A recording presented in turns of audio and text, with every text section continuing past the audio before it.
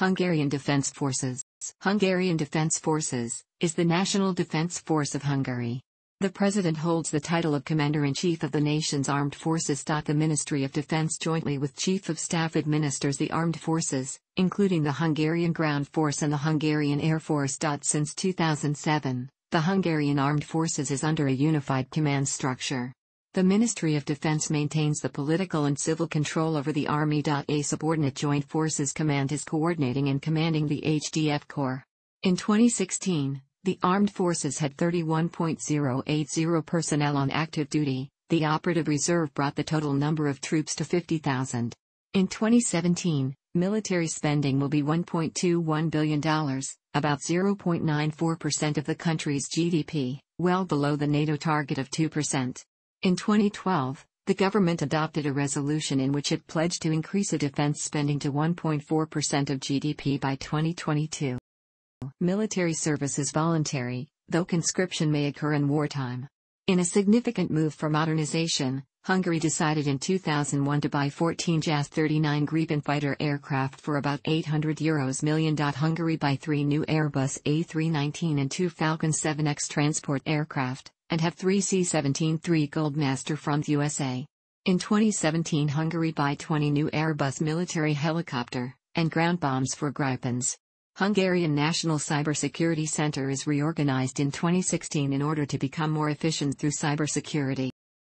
In 2016, the Hungarian military has about 700 troops stationed in foreign countries as part of international peacekeeping forces, including 100 HDF troops in NATO-led ISAF force in Afghanistan, 210 Hungarian soldiers in Kosovo under command of KFOR, and 160 troops in Bosnia and Herzegovina. Hungary sent a 300-strong logistics unit to Iraq in order to help the U.S. occupation with armed transport convoys, though public opinion opposed the country's participation in the war. One soldier was killed in action by a roadside bomb in Iraq. During the 18th and 19th century, Hungarian Hussars rose to international fame and served as a model for light cavalry in many European countries. In 1848-49 HDF achieved incredible successes against better trained and equipped Austrian forces, despite the obvious advantage in numbers on the Austrian side. The 1848-49 winter campaign of József Bem and the spring campaign of Artur Görgei are to this day taught at prestigious military schools around the globe, including at West Point Academy in the United States. In 1872, the Ludovica Military Academy officially began training cadets. By 1873, HDF already had over 2,800 officers and 158,000 men organized into 86 battalions and 58 squadrons. During World War I, out of the 8 million men mobilized by Austro-Hungarian Empire, over 1 million died. During the 1930s and early 1940s, Hungary was preoccupied with the regaining the vast territories and huge amount of population lost in the Trianon Peace Treaty of Versailles in 1920. Conscription was introduced on a national basis in 1939. The peacetime strength of the Royal Hungarian Army grew to 80,000 men organized into seven corps commands. During World War II the Hungarian Second Army was near to total devastation on banks of the Don River in December 1942 in battle for Stalingrad. During the Socialist and the Warsaw Pact era, 1947 to 1989, the entire 200,000-strong southern group of forces was garrisoned in Hungary, complete with artillery, tank regiments, air force and missile troops with nuclear weapons. As of 2016 Global Peace Index shows, Hungary is one of the world's most peaceful countries, placed 19th out of 163. Since 2007, the Hungarian Defense Force has been under a unified command structure with all operational units falling under the Hungarian Defense Forces Combat Command. The two branches of the Defense Forces, the Hungarian Air Force and Hungarian Ground Forces have now only administrative functions. Logistic support for the Defense Forces is managed by the Hungarian Defense Forces Logistics Center while the training for all units is the responsibility of the Hungarian Defense Forces Formation, Preparation, and Training Command.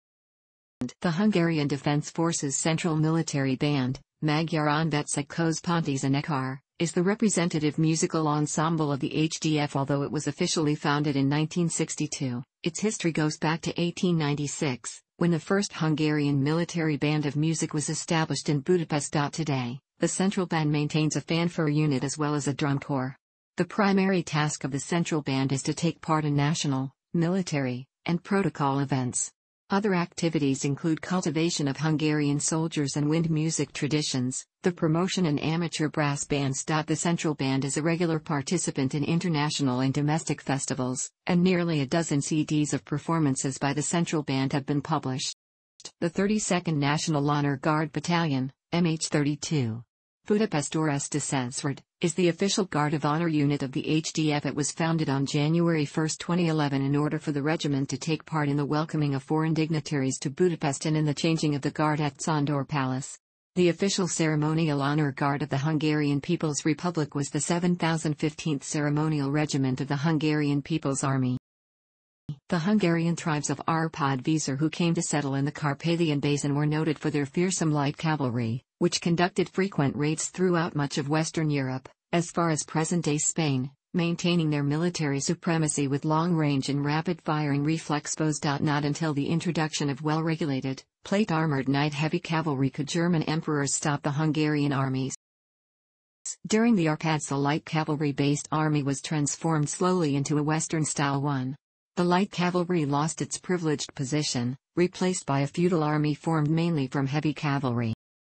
The Hungarian field armies were drawn up into an articulated formation, as it happened in Battle of Przemyśl, 1099, Battle at Leitha, 1146, Battle of Morvamező, 1278, 1349, in three main battle, formation, 1146, 1278, 1349. According to the contemporary sources and later speculations, the first line was formed by light cavalry archers, Battle of Olšava, 1116, 1146, 1260, 1278. Usually, they started the battle followed by a planned retreat, 1116, 1146, Battle of Kressenbrunn, 1260.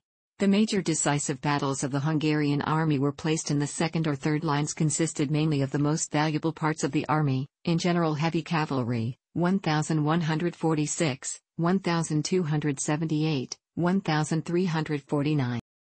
The commanders of the Hungarian kingdom's army used different tactics, based on a recognition of their own and the enemy's, Holy Roman Empire, Pechenegs, Uzes, Cumans, Mongols, Byzantine Empire, abilities and deficiencies. The Hungarian Knight Army had its golden age under King Louis the Great, who himself was a famed warrior and conducted successful campaigns in Italy. Duetto family matters, his younger brother Mary Joanna I, Queen of Naples who murdered him later, King Matthias Corvinus maintained very modern mercenary-based royal troops, called the Black Army. King Matthias favored ancient artillery, catapults, as opposed to cannons, which were the favorite of his father, Johannes Hunyadi, former regent of Hungary. During the Ottoman invasion of Central Europe, between late 14th century and circa 1700, Hungarian soldiers protected fortresses and launched light cavalry attacks against the Turks, see Hungarian Hussars. The northern fortress of Eger was famously defended in the autumn of 1552 during the 39-day siege of Eger against the combined force of two Ottoman armies numbering circa 120,000 men and 16 ultra-heavy siege guns. The victory was very important, because two much stronger forts of Szolnok and Temesvar had fallen quickly during the summer. Public opinion attributed Eger's success to the all-Hungarian garrison, as the above two forts had fallen due to treason by the foreign mercenaries manning them. In 1596, Eger fell to the Ottomans for the same reason. In the 1566 Battle of Szigetvár, Miklos Zrínyi defended Szigetvár for 30 days against the largest Ottoman army ever seen up to that day, and died leading his remaining few soldiers on a final suicide charge to become one of the best-known national heroes. His great-grandson, Miklos Zrínyi, poet and general became one of the better-known strategists of the 1660s. In 1686, the capital city Buda was freed from Ottomans by an allied Christian army composed of Austrian, Hungarian, and Western European troops, each roughly one-third of the army. The Habsburg then annexed Hungary. Under Habsburg rule, Hungarian Hussars rose to international fame and served as a model for light cavalry in many European countries. During the 18th and 19th centuries, hundreds of thousands of forcibly enrolled Hungarian males served 12 years or more each as line infantry in the Austrian Imperial Army. Two independence wars interrupted this era, that of Prince Francis II Rákóczi between 1703 and 1711 and that of Lajos Kossuth in 1848 to 1849. A July 11, 1848 Act of Parliament in Budapest called for the formation of an army, the Honvédség, of 200,000 which would use the Magyar language of command. It was to be formed around already extant imperial units, 20 battalions of infantry, 10 Hussar regiments, and 2 regiments of Székely from the Transylvanian military frontier. They were further joined by eight companies of two Italian regiments stationed in Hungary and parts of the 5th Bohemian Artillery Regiment. In 1848 to 1849 the Honvédség, mostly made up of enthusiastic patriots with no prior military training, achieved incredible successes against better trained and equipped Austrian forces, despite the obvious advantage in numbers on the Austrian side. The winter campaign of József Bem and the spring campaign of Artur Görgei are to this day taught at prestigious military schools around the globe, including at West Point Academy in the United States. Having suffered initial setbacks, including the loss of Pest Buda, the Honvéd took advantage of the Austrians' lack of initiative and reformed around the Debrecen-based Kossuth government. The Hungarians advanced again and by the end of spring 1849, Hungary was basically cleared of foreign forces, and would have achieved independence, were it not for the Russian intervention. At the request of the Austrian Emperor Franz Joseph, the Russians invaded with a force of 190,000 soldiers, against the Honvédség's 135,000, and decisively defeated Bem's Second Army in Transylvania, opening the path into the heart of Hungary. This way the Austrian-Russian coalition outnumbered Hungarian forces 3 to 1, which led to Hungary's surrender at Vilagos on August 13, 1849. Sándor Petőfi, the great Hungarian poet, went missing in action in the Battle of Segesvár, against invading Russian forces. In April 1867, the Austro-Hungarian Empire was established. Franz Joseph, the head of the ancient Habsburg dynasty, was recognized as both Emperor of Austria and King of Hungary. Nevertheless, the issue of what form the Hungarian military would take remained a matter of serious contention between Hungarian patriots and Austrian leaders. As the impasse threatened the political union, Emperor Franz Joseph ordered a council of generals in November of the same year. Ultimately, the leaders resolved on the following solution in addition to the joint KUK army, Hungary would have its own defense force, whose members would swear their oath to the King of Hungary, who was also Emperor of Austria, and the national constitution, use the Hungarian language of command, and display their own flags and insignia. Austria would also form its own parallel national defense force, the Landwehr, as a result of these negotiations, on December 5, 1868, the Royal Hungarian Landwehr, Magyar Király Honvédség, or Defense Force, was established. The Honvédség was usually treated generously by the Diet in Budapest. By 1873 it already had over 2,800 officers and 158,000 men organized into 86 battalions and 58 squadrons. In 1872, the Ludovica Academy officially began training cadets, and later staff officers. Honvédség units engaged in maneuvers and were organized into seven divisions and seven military districts. While artillery was not allowed, the force did form batteries of Gatling guns in the 1870s. In the midst of trouble between the imperial government and the parliament in 1906, the Honvédség was further expanded and finally received its own artillery units. In this form, the force approached the coming World War in most respects as a truly national Hungarian army. Hungarian soldiers fought with distinction on every front contested by Austria-Hungary in the First World War. Honvédség units, along with the Austrian Landwehr, were considered fit for frontline combat service and equal to those of the joint KUK army. They saw combat especially on the Eastern Front and the battles of the Isonzo on the Italian front. Out of the 8 million men mobilized by Austria-Hungary, over 1 million died. Hungarians as a national group were second only to German Austrians in their share of this burden, experiencing 28 war deaths for every thousand persons. After the collapse of the Austro-Hungarian Empire in late 1918, the Red Army of the Hungarian Communist State, Hungarian Soviet Republic, conducted successful campaigns to protect the country's borders. However, in the Hungarian-Romanian War of 1919 Hungary came under occupation by the Romanian, Serbian, American, and French troops, as after four years of extensive fighting, the country lacked both the necessary manpower and equipment to fend off foreign invaders.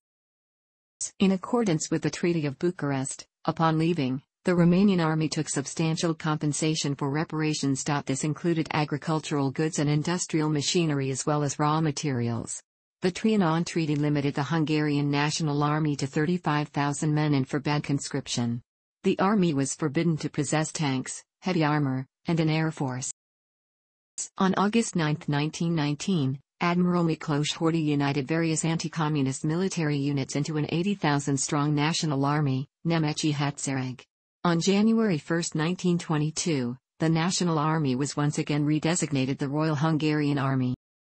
During the 1930s and early 1940s, Hungary was preoccupied with the regaining the vast territories and huge amount of population lost in the Trianon Peace Treaty at Versailles in 1920.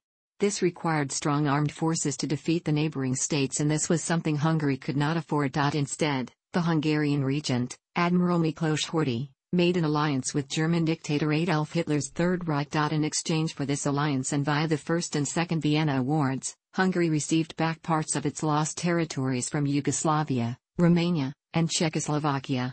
Hungary was to pay dearly during and after World War II for these temporary gains. On March 5, 1938, Prime Minister Kálmán Darányi announced a rearmament program, the so-called Győr program, named after the city where it was announced to the public. Starting 1 October, the armed forces established a five-year expansion plan with HUBA I-3 revised orders of battle. Conscription was introduced on a national basis in 1939. The peacetime strength of the Royal Hungarian Army grew to 80,000 men organized into seven corps commands. In March 1939, Hungary launched an invasion of the newly formed Slovak Republic. Both the Royal Hungarian Army and the Royal Hungarian Air Force fought in the brief Slovak-Hungarian War. This invasion was launched to reclaim a part of the Slovakian territory lost after World War I. On March 1, 1940, Hungary organized its ground forces into three field armies. The Royal Hungarian Army fielded the Hungarian First Army, the Hungarian Second Army, and the Hungarian Third Army. With the exception of the independent fast-moving Army Corps, Gyorshadtest, all three Hungarian field armies were initially relegated to defensive and occupation duties within the regained Hungarian territories. In November 1940, Hungary signed the Tripartite Pact and became a member of the Axis with Nazi Germany and Fascist Italy. In April 1941, in order to regain territory, Hungary joined the Germans in the invasion of Yugoslavia.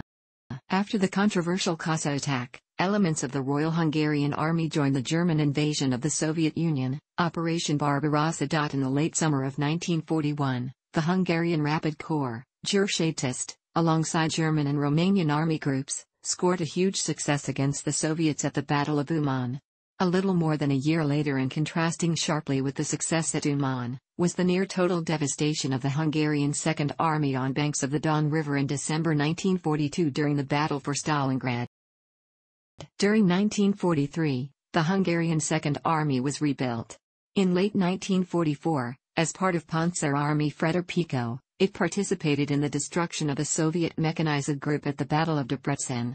But this proved to be a Pyrrhic victory. Unable to rebuild again, the Hungarian Second Army was disbanded towards the end of 1944. To keep Hungary as an ally, the Germans launched Operation Margaret and occupied Hungary in March 1944. However, during the Warsaw Uprising, Hungarian troops refused to participate. On October 15, 1944, the Germans launched Operation Panzerfaust and forced Horthy to abdicate. Pro-Nazi Ferenc Szálasi was made prime minister by the Germans. On December 28, 1944, a provisional government under the control of the Soviet Union was formed and liberated Debrecen with Bela Miklos as its prime minister. Miklos was the commander of the Hungarian First Army, but most of the First Army sided with the Germans and most of what remained of it was destroyed about 200 kilometers north of Budapest between 1 January and 16 February. The pro-communist government formed by Miklos competed with the pro-Nazi government of Ferenc Szálasi. The Germans, Szálasi, and pro-German Hungarian forces loyal to Szálasi fought on. On January 20, 1945, representatives of the Provisional Government of Bela Miklos signed an armistice in Moscow. But forces loyal to Szálasi still continued to fight on.